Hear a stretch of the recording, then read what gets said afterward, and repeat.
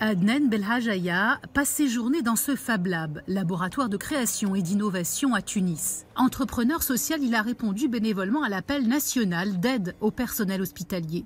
D'habitude, une dizaine d'étudiants utilisent ces imprimantes 3D, mais pour des raisons de sécurité sanitaire, il travaille seul. Et voilà, notre euh, staff médical est protégé.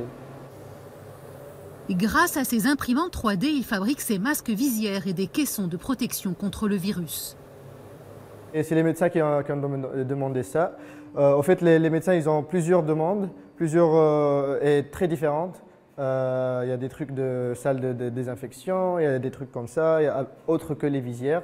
Et qu'on essaye d'innover voilà, et de, de produire quelques trucs avec les moyens de bord.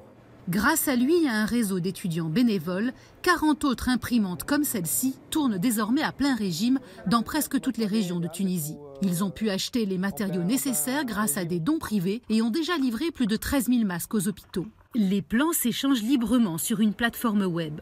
Cet ingénieur américain vient justement d'entrer en contact avec Adnan Belhajaya pour faire la même chose aux États-Unis. Nous nous battons tous, uh, nous sommes tous en manque d'équipement et je crois que les Tunisiens sont parmi les meilleurs exemples de gestion de cette crise.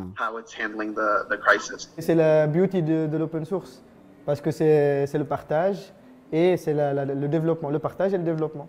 Par exemple, le masque, peut-être euh, en, Afrique, ils vont développer un autre truc complémentaire au masque qu'on a fait, à la visière qu'on a fait, et euh, qui sera plus performant en Afrique. Sina Ajamor est médecin. Elle dirige plusieurs dispensaires et un centre de confinement. Pour elle, il est primordial que ce matériel de protection arrive avant le pic de contagion. Le travail de ses étudiants est inespéré. Je suis très fière de nos jeunes Tunisiens qui sont en train d'aider. Euh, ils apportent un soutien énorme, que ce soit euh, même le fait de, savoir qu'ils soucient de la sécurité des médecins, c'est très, touchant. Des tubes pour respirateurs seront également fabriqués en impression 3D, un bel exemple de solidarité et de coopération internationale pour un pays comme la Tunisie qui fait déjà face depuis des années à une crise économique.